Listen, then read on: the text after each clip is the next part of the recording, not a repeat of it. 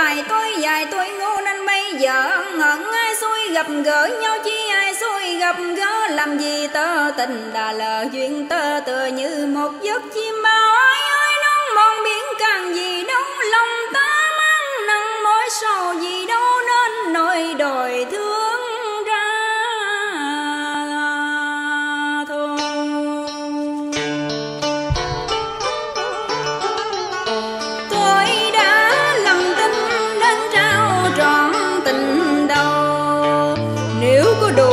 mạnh. Tôi giết ông để rửa hận.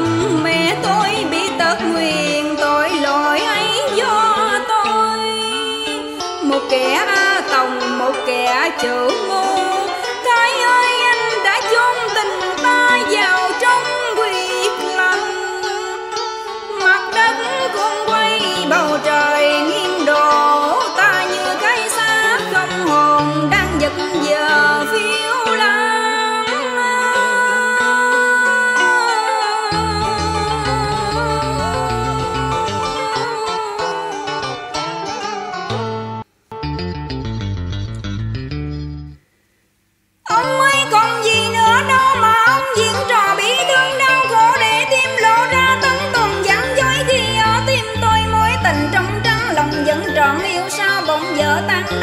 dậy sông cướp mất của tôi, những gì mơ tưởng đôi ngã chia ly niềm đau nhói trong lòng. Hôm nay nhắc lại ân tình còn đâu yêu thương ước quyên trăm năm tây nguyên giờ này hận thù chỉ ai lối đi để tôi một mình ôm nỗi sầu cô đơn đành xa nhau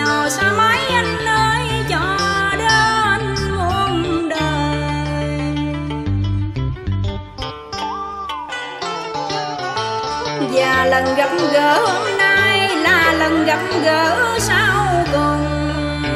Từ hôm nay kể như chúng ta đã